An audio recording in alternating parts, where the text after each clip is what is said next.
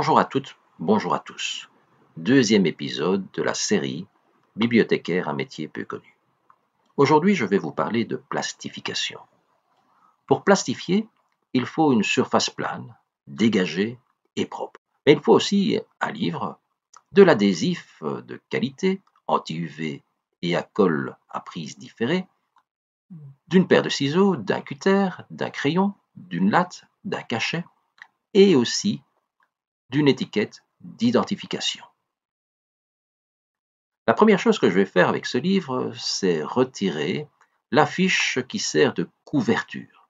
Voilà, et apparaît le livre dans son intégralité. Je prends un crayon, je prends une latte, je fais un trait exactement à 1 cm du bord inférieur du livre. Je prends l'étiquette d'identification sur laquelle il y a notre numéro d'inventaire, mais surtout la code de rangement que j'ai déterminée auparavant.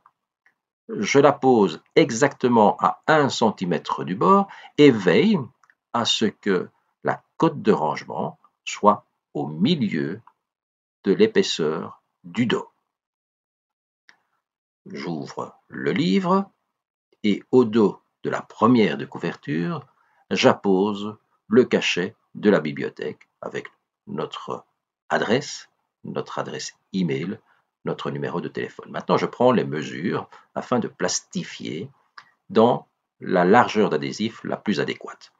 Donc, je déroule mon adhésif, je prends deux largeurs de livre, je regarde plus ou moins l'épaisseur du livre et je rajoute encore plus ou moins 2 cm d'adhésif. Ainsi, j'aurai suffisamment d'adhésif pour couvrir aisément mon livre.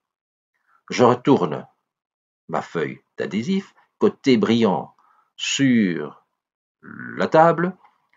Je plie en deux cet adhésif en veillant à faire dépasser la partie au-dessus de la largeur du dos du livre. Je marque le pli fortement et j'enlève maintenant la pellicule protectrice du livre, de l'adhésif.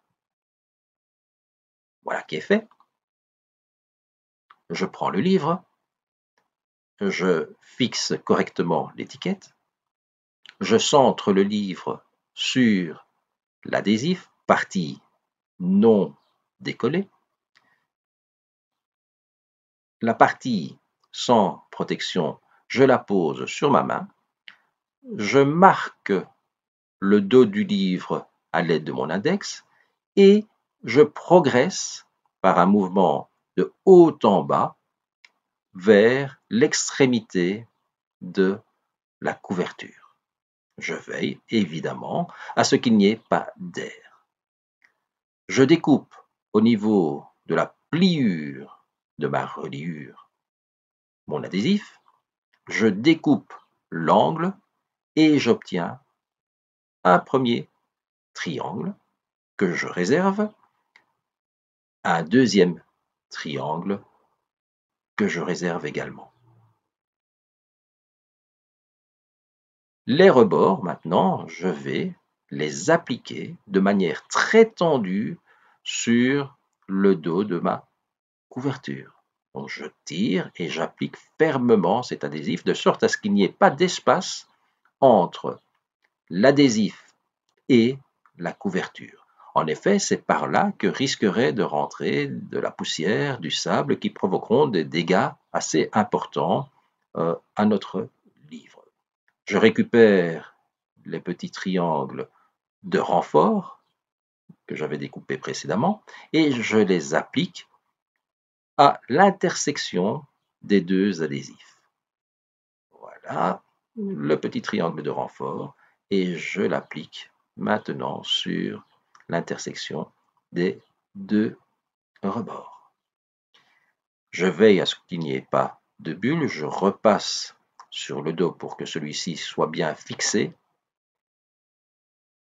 Je vais maintenant enlever la feuille de protection de la deuxième partie, j'applique sur ma main, je le dépose sur ma main, et à l'aide de mon index, je repasse sur le dos, et puis je progresse en allant de haut en bas vers l'extrémité de la couverture, en veillant toujours à ne pas laisser de l'air entre la couverture et le livre. Si c'est le cas, il suffit d'exercer une légère pression et de chasser l'air vers l'extérieur. Comme c'est un adhésif à col différé, n'hésitez pas à repasser plusieurs fois sur euh, l'adhésif. Je découpe au niveau des pliures, je découpe au niveau des angles, je réserve mes deux petits triangles qui serviront de renfort. Le rebord, je vais l'appliquer après avoir chassé l'une ou l'autre bulle. Je vais l'appliquer de manière ferme et surtout en tirant assez fort sur cet adhésif, de sorte à ce qu'il n'y ait pas d'espace entre l'adhésif et la couverture. Important. L'autre petit rebord. Voilà, je tire, je veille à ce qu'il n'y ait pas d'espace et j'applique. Je n'hésite pas à repasser l'une ou l'autre fois, de sorte à ce que ça soit bien fixé. Petit triangle de renfort.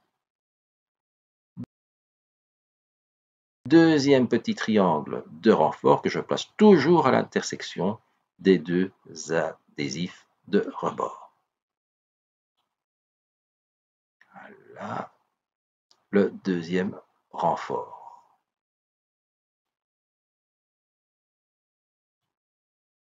Comme précédemment, je vais repasser sur toute la surface plastifiée de sorte à bien chasser l'air et surtout à ce que la colle adhère correctement. Je prends un petit cutter et je découpe le surplus d'adhésif des deux côtés.